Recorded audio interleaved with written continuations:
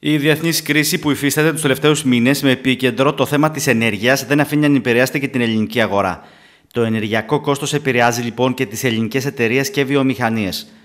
Από πλευράς του συνεταιρισμού Δήμητρα Νέας Αγχέλου συγκεκριμένα, εκπρόσωποι της διεύθυνσης αναφέρθηκαν στον Άστρα για τα όσα συντηλούνται το τελευταίο διάστημα και επεσήμαναν αναφορικά με τον τρίγο αλλά και το θέμα της παραγωγής κρασιού. Το εργοστάσιο εμάς λειτουργεί 12 ε, μήνες το χρόνο. Ο τρίγος ξεκινάει από 15 Αυγούστου μέχρι 30 Οκτώβρη περίπου βάσει των καιρικών συνθήκων.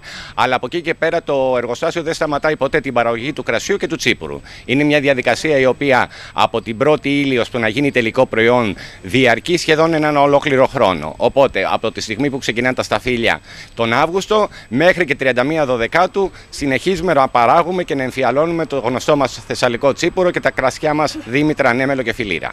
Σαφέστατα και μας έχει επηρεάσει κατά πολύ ειδικά το κόστος της ενέργειας. Ε, είναι ένας παράγοντας που έχει επηρεάσει όλες τις βιομηχανίες γιατί εμείς είμαστε μια καθετοποιημένη και δεν είμαστε μια εμπορική επιχείρηση.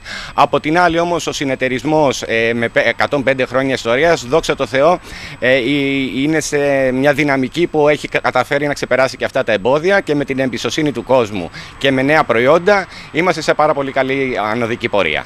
Η κρίση πάντως στην Ελλάδα είναι πολυεπίπεδη, με τις εταιρείες και τις βιομηχανίες να έχουν περάσει αρκετά δύσκολα τα τελευταία χρόνια, ξεκινώντας με την οικονομική κρίση πριν το 2015 και εν συνεχεία με τα lockdown και τώρα την ενεργειακή κρίση.